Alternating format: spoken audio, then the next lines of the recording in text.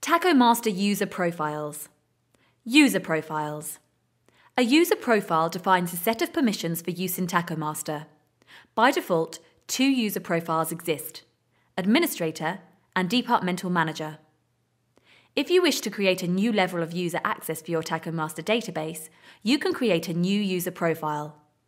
In order to create user profiles, your own user will require administration rights.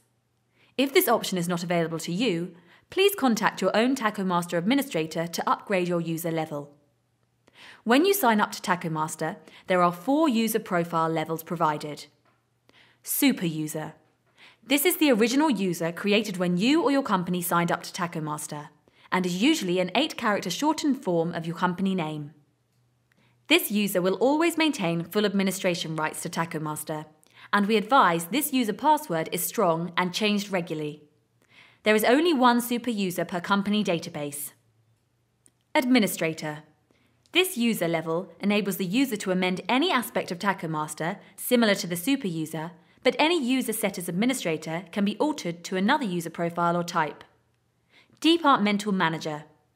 This user type has significantly less capability than an administrator and cannot add or amend static data like users, sites, etc.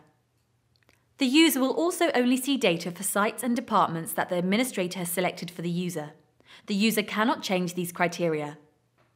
Worker. This is a very low level user.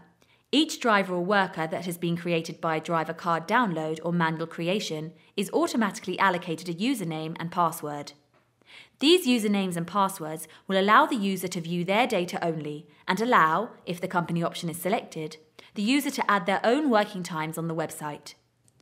A worker could also have the TachoMaster software installed and download their own card from their home or work PC. If you find the previously mentioned user profiles are not sufficient, you can add as many user profiles as you require. On the TachoMaster website, click Tools, Add Amend, User Profiles.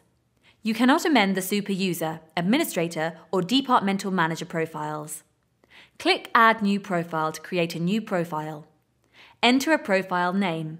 This would most commonly be a group of workers or employees, such as, for example, traffic managers or admin clerks. Profiles can then be added to any user records, and a user's functionality is based on what you set. Click on the Is Read Only checkbox as you may wish to create a profile that is read only, which means that the user can only view selected options but change nothing. When you select this option, all items in the View column are selected as a default, but you can choose to remove specific items for this particular profile. All Create, Amend and Delete items are automatically removed.